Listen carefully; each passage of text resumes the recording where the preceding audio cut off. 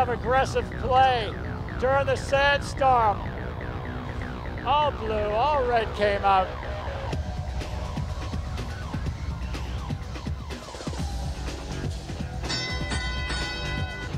Three points. Blue, Blue Alliance has a one robot advantage.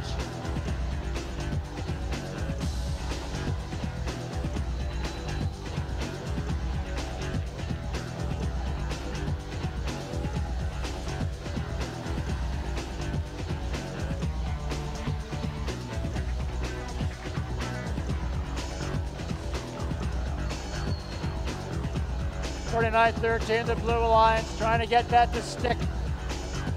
And they did on the cargo ship facing the Alliance.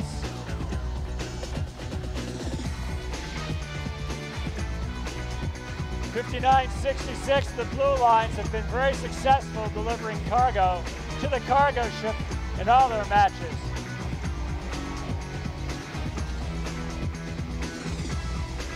Going for the second level. And they made it 5802 on their rocket ship. That's two points. Both alliances working hard. Panels and cargo. Red Alliance is outnumbered. There's only a seven point difference.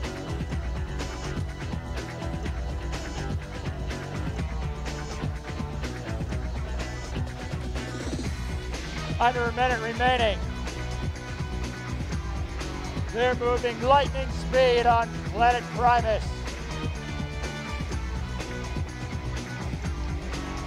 Still a close match. Coming to the end game warning.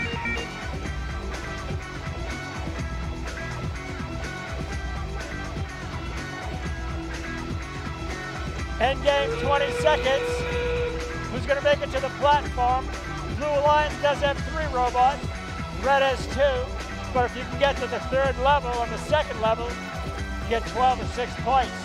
Under 10 seconds. All three blue, one red going for two, two, one.